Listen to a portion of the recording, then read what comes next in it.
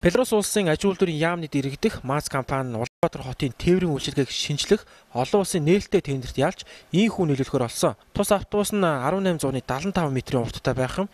Энгийн автобусыг бодвол хоёр нугалах хэмжээний тус автобусанд 120 орчим үйлчлүүлэгч багтана гэдгийг хэлж байгаамаа.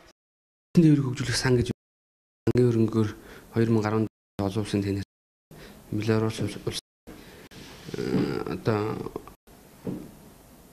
215 загварын автобус орж ирэхээр болсон байгаа. Аа тэгээд Оксра автобус маань юу юу гэхээр ерөнхийдөө бол нэгтээвний өргөнчлөөгөөр зорчилт хийгдэнэ. Аа нэгтээвний өргөнчлөөгөө дагаад бол нөгөө зорчигч урсгал ихтэй байдаг учраас ерөнхийдөө ачаал юунуудыг бас юу байхын тулд ийм Оксра автобусыг оруулж ирж байгаа. Эхний ээлжинд инх тайвны өргөн чөлөөнд явуулж эхлэнэ гэж байгаач шийдэх ёстой олон асуудал гарч байна. Тодорхойлбол зам талбайн шинжилэлт автобусны зогсоол уулзууруудыг өргөтгөх шаардлагатай болно. Энэ нь улсын төсвийн хөрөнгөөр хийсэн бүтээн байгуулалтыг устгаж байгаа хэрэг юм а. Инх тайвны өргөн чөлөөнд нийт 40 зогсоол байдаг. 1-р зэрэглэлийн 5 зогсоол, харин 2 болон 3-р зэрэглэлийн зогсоолууд 30 байгаамаа. Тэгвэл угсраа автобусаа ашиглалтад орвол дээрх 30 зогсоолыг бүхэлд нь үгүй хийх шаардлага тулгарч байна. За Оксраа автобус орж ирж байгаатай холбоотойгоор ерөнхийдөө бол яг мэдээж Оксраа автобус маань эргэлтийн радиус ихтэй байгаа.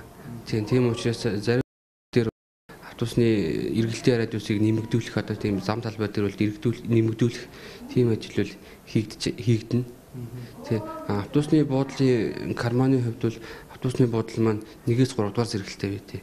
А 3 дугаар зэрэгэл буюу одоо 45 м-ийн урттай зогсоол дээр л өгсөр автобус маань ороод одоо нөгөө төр шахаж зогсно гэж ярьдаг тийх ямар ч боломжгүй байна. Шин технологиг Монголд нэвтрүүлэх олон хүний багтаамжтай зэрэг давуу талтайч бусад бүтээн байгуулалт хөрөнгийг үргүйдүүлж зарлагдаж байгаа нь иргэдэг бухимдуулж байгаамаа. Нөгөө талаар хотын авто замын ачаалал жил ирэх тусам нэгдэж байгаа энэ үед овор хэмжээ ихтэй автобус нийлүүлэх нь нийгэмд хэр нийцэх вэ гэдгийг бодож үзэх нь чухал байгаамаа. Тий, бид түрүүнд хэлсэн хэлсэн шүү дээ. Ерөнхийдөө бол яг огсрын автобустай холбоотойгоор бол мэдээж за нэгдүгээр замын нөхцөлөө харуулад чиглэлүүд мань явна. Урдсан байдлаар бол эхний ээлж нь бид одоо тээврийн газрын зүгээс бол их тээврийн өргөн чөлөөнтэй л явуулна гэсэн тийм төлөвлөлттэй байгаа. Эцсийн байдлаар бол энэ төлөвлөлт маань яг шийдвэр болоод гарсан юм бол байхгүй байна. Өнөөдрийн байдлаар тухайн автобусанд хэдэн төгрөгийн хөрөнгө оруулалт хийсэн замын зохицуулалтыг яаж хэрхэн шийдэх талаар ямар нэг шийдвэр гараагүй байна.